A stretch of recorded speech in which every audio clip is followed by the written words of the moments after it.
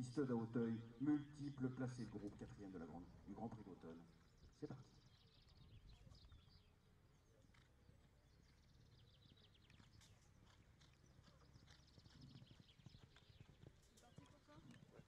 Toujours à bon rythme, nous avons Royal Canaille le long des écuries. Si, Là,